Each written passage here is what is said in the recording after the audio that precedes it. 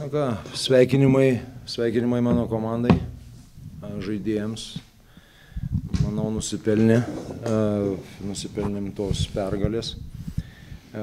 Pirmiausiai tai aš manau, kad gynybiniai, e, e, dėl gynybos dėka leisti Lietkabiliui mesti tik 65 taškus, aš manau, neblogas rodiklis, nežiūrint tai, kad jie gal žaidė be savo vieno iš lyderių Gedimino Relik Aišku, jiems tai didelis praradimas, bet aš manau, kad nors ir buvo klaidų daugiau mažiau, mes, mes įvykdėm savo planą. Pradžia buvo, gal labai jaudinomės, gal kažkaip tai žaidėm taip, kaip kalbėjom, kad nenorėtume žaisti. Ir skubėti metimai, ir klaidos, ir mumis baudė, mes net nesuteikėm savo šansų žaisti geros komandinės gynybos.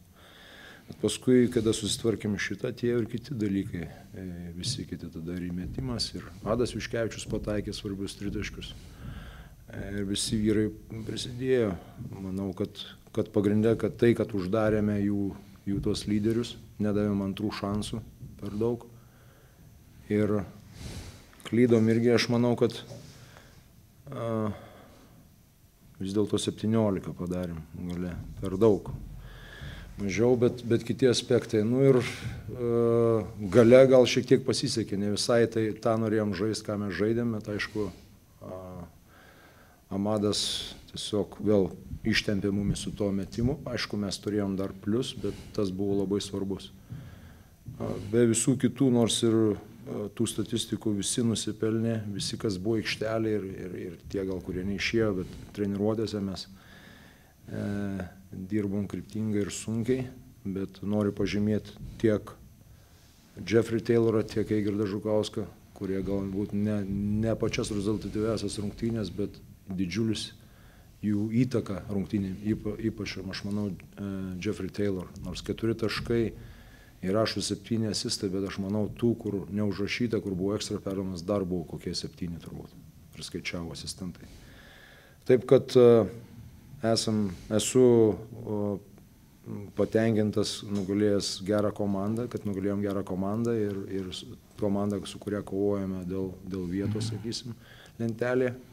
Aišku, jiems Euro, Euro kapė linkiu sėkmės, bet taisytinų dalykų dar yra daug ir bandysim po truputį mhm. kažkiek vis, vis dar pridėti, gerinti. Skan užtikrintai laimėt kovą dėl atšokusių kamuolių, nors šių rungtynių dešimti lygoje Vilkai pagal atkovotus kamuolius.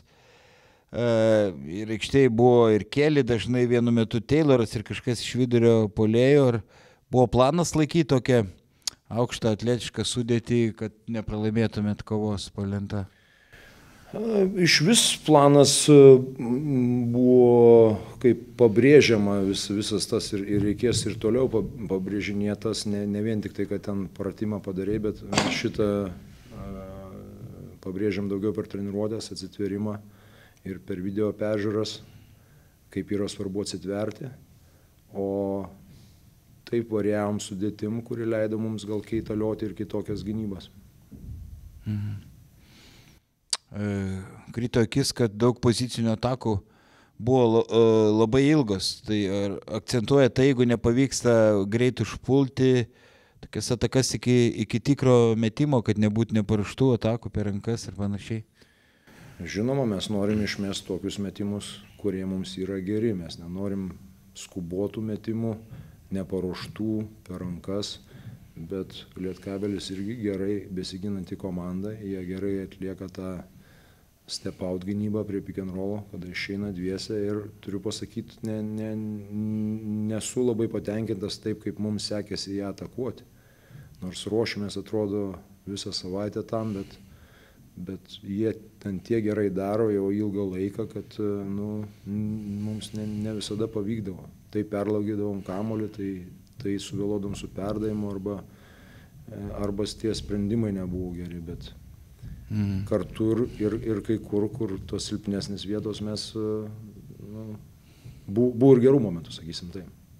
Jeigu nepaslaptis, kiek jau naujų derinių įvedėt, ko nebuvo prie kurtinaičio. Nubražyt, prašom, derinti. nu, neskaičiuoju. Turi, Nu, maždaug. Vienas, tu, neskaičiuoju, nenoriu, kaip čia pasakyti, apsirikti, bet yra tie patys deriniai, gal kurios naudoja tiek treneris Kurtinaitis. Aš galbūt šiek tiek kažkur kitur akcentų sudėjau arba kaip mes juos ir naudojam. Kai, kai kurie dalykai atsirado a, beveik, beveik ekspromtų, sakysim, šios dienos rungtynėse, kur iš to pačio derinio sužaidėm truputį kitokią opciją, kur, kur mums gal atnešė naudos, daugiau naudos. O kas Bakneriui nutiko, ar tai rimta trauma ar nieko baisaus, petys susižeidė? A, nežinom tiksliai, truputį liktai išnirimas kažkaip tai buvo, bet kol kas nieko negaliu daugiau pasakyti, reikia daug a, kropštesnių tyrimų, nuotraukų, kad žinotume mm. tiksliau, kas, kas ten įvykė ir koks tas bus gydimas. Su nerimu lauksim šitą. Jaunasis žurnalistas labai nori paklausti. Ačiū, jaunas kolega. E, papildė jūsų štabą ir Pacevičius su Leonavičium, turbūt irgi paskirstėt jau vaidmenys jiem. E, kodėl pasirinkot juos, čia turbūt jūsų sprendimas, ką matot šituose asistentuose?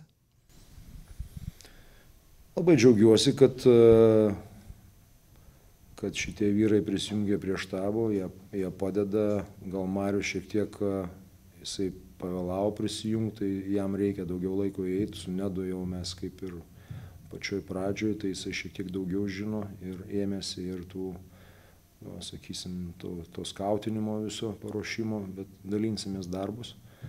Na, viskas įvyko taip labai staigiai.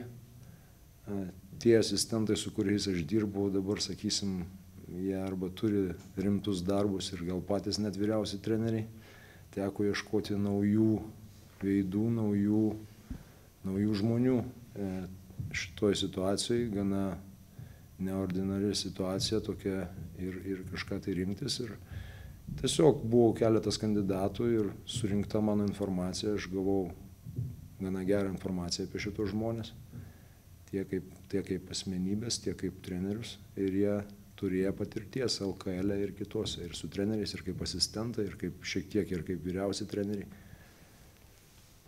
Tai re, reikėjo labai greitai apsispręsti visas. tas. Kunsaitis nepasijungs. Ne, nepasijungs. O šiaip pats grįžtat į trenerio, klubinio trenerio darbą po šiokios tokios pertraukos. Jaučiatės pasilgęs to nuolatinio krepšinio sezono metu, to intensyvaus darbo? Kaip jums atrodo? Spėju, nežinau, būna žmonės kartais, žinai, a, Per prievartą. pusiau. Per prievartą. A, nu. Manau, kad taip. Pasilgę. congratulations to to Wolves team. They were better today. Uh, with that percentage of three point shot, and uh, if you lose uh, rebound in battle, you cannot win here. So we didn't play well. I mean, uh, too many, too many misses, open layup, open shots. So we don't have time for for for uh, how to say for crying. We must be ready for Wednesday. Nežaidėme gerai, ne, net per nelik blogai kovojame dėl atšokusių kamuolių, prastai pataikėme iš tolimos distancijos, taip pat prametėme gerus metimus iš pokrepšio, bet nėra laiko verkti, turime žiūrėti priekį. Coach, you started the game well. After the first five minutes, you were leading by 9, 11, uh, 2, but um, later um, opponents uh, came back to the game. Um, what changed at that time? What I should say now? I mean, was uh, what changed? They start. Uh, was the beginning was 9-0, okay, but it was first three minutes. They keep playing. They didn't use bonus fouls well. They make uh, few times and one when we when we are not in bonus and. Uh, we play against third place team in LKL, so it's no, nothing changed. Just you know, they, they are good team and they deserve win today. Klausimas buvo a, apie gerą Lietkabelio pradžią, kas po, nutiko po to. A, Trenerio atsakymas yra toks, kad a, tai buvo tik pirmos trys minutės, kuomet rezultatas buvo 9-0. Tai po to Vilkai yra gera komanda, tai yra jau užėmė trečią vietą ir todėl nusipelnė pergalės. Let's talk about the new guy, Jordan Duffy. What are your first impressions about this little boy? Oh, little boy. Okay. Like I said before the game, it's too early to to, to say something. Uh, for sure, he has he has quality. Now it's not uh, it's not a very easy moment for him. Period for him. He's on uh, that Ramadan. We, we we must have. Uh, we must understand that, and uh, but we will see. Like he he he make two practice with us in one game. It's too early to say anything. He's a great person, and uh, for sure he has quality. Klausimas buvo apie komandos naujoką Dafį. Treneris sakė, kad dar kol kas spręsti apie jo pasirodymą yra ankstoka. Taip pat šiuo metu yra Ramadanas, tai turime tą irgi suprasti. Tačiau jis yra geras žaidėjas ir treneris laukia jo geresnio žaidimo ateityje. Coach, uh, next week you have very important game, maybe the most important of the season. Uh, will Gediminas Orelikas be ready for that game? Okay, that game is like uh, for how to say like uh, a word for us. So we deserve that that game at home. Of course, important game, but for me was most important game today because that game can decide about third place and if you be honest, decide. Uh, about the relic, uh, we will see. He's, he, he, he was not able to play today, so we'll see about Wednesday. Klausimas buvo apie Lietkabelio komandos laukiančias, kitą savaitę laukiančias labai svarbias rungtynės ir ar juose galės žaisti Gediminas Orelikas. Pasak trenerio, tos rungtynės tai yra sunkaus darbo rezultatas. Tuo tarpu, ar Gediminas Orelikas žais bus matyti. And, um, what kind of injury Orelikas has? Some adductor, I don't know what, what kind of, some muscle here, like not growing adductor. So it's fascia adductor. I don't know. So it's like first grade. What I what I am not understand for me it's just important when he will come back. So it's he's not ready yet. Klausimas, kokią traumą yra patyręs Gitminas Relikas, pasak treneris tiksliai negali pasakyti, jis, jis nėra tos ir tie specialistas, tai yra šlūnies rūmens kažkoks patempimas, svarbiausia treneriui, kad žaidėjas kuo greičiau grįžtų.